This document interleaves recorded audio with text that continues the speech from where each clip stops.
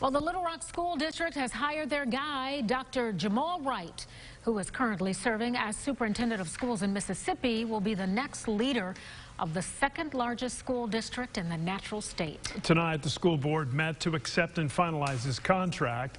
Our Gary Burton Jr. joining us live with a closer look at that contract and to tell us whether there were any rejections from board members when that vote took place. Gary.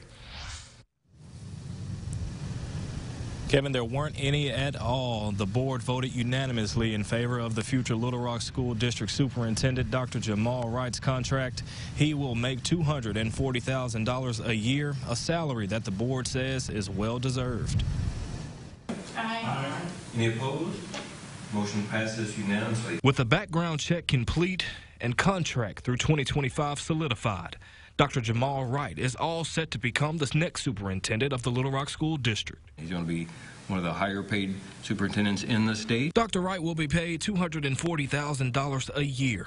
LRSD School Board President Greg Adams says the pay is fitting as the district is the second largest and most complex in the state. In the contract, there's potential for um, some increases or bonuses in the, in the years to come when we work together with him about some particular goals.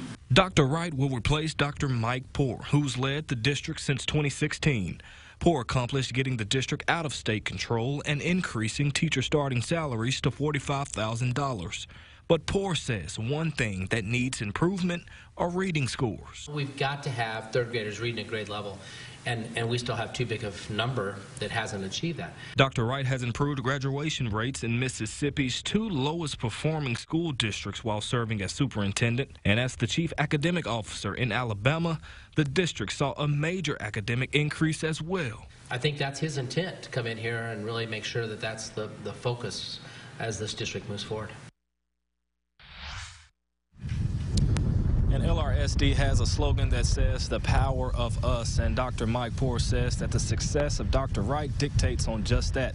The support from the community, the staff, the parents, and the students. Live in Little Rock, I'm Gary Burton Jr., Fox 16 News.